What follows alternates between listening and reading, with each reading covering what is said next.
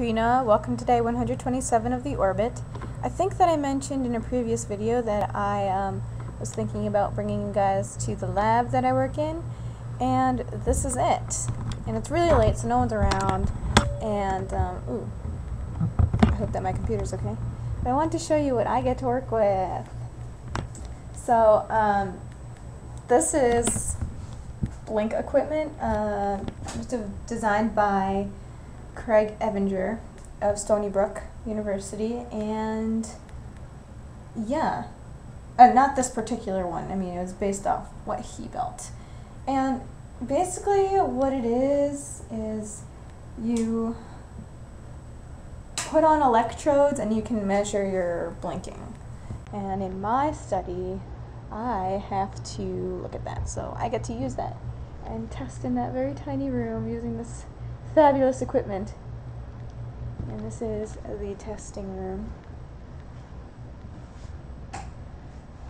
You know, for experiments, they want to keep, you know, very good control of the environment because you don't want any variables to come in and mess up all of your data in your experiment. You know, you want everything to be consistent except for that experimental variable.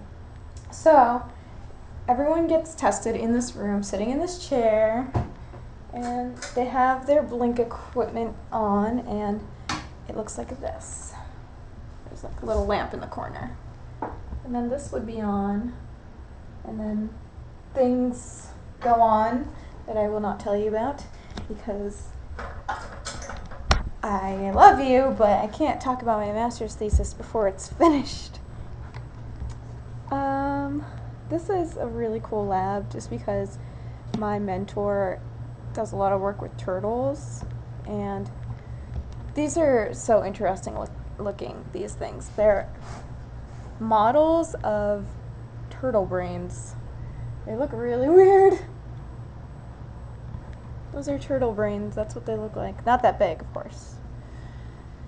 Yeah and then this is my drawer right there it's empty right now. I need to fill it with things, and uh, this is fun signs. Approved laboratory coats are to be worn in this room in the presence of animals. Notice absolutely no pesticide spraying in this room. Also, down there says no smoking. You do not smoke in labs.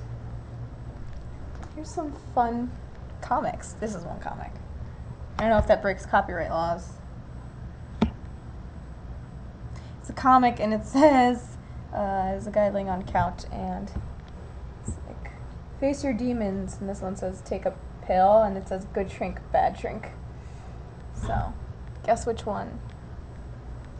Guess whose side I'm on. Yeah, I mean, that's really all I have to show you about the lab. It's your typical crazy lab fire blanket over there. By the way, I'm carrying my laptop around. Okay. What else? What else? Mm. This is fun. For this refrigerator, it says food only, no chemicals. Um, I like how the sign is like taped on top of it. And, uh, oh gosh, what else? These are the electrodes. So it's okay. These are what go on a, a person's face. So this one right here, these actually, wait, wait, wait, wait, wait. Why is there so many? Oh, that's why. Because there is too many. One second. I accidentally got four electrodes. Ah! I don't think I'm going to edit this. You're going to see me in action. Okay, so this is in the wrong spot. Let me mess that up. Okay, so these are electrodes, and the way that it works is person will clean their left eye, and this one goes right in the middle.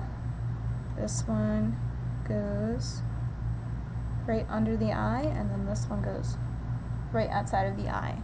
and I use a special cream. I like dip it into electrode cream and I tape it onto somebody's face. Oh, over here. This is the ground electrode. And no, it's not like a crazy I get electrocuted or somebody gets electrocuted. That's not how it works. It's called an electrode because it measures electrical ac activity. It measures activity, your muscle movement. So they're called electrodes. And it's going to be fun touching other people's faces. but, you know, do what you have to. But I wanted to show you guys that.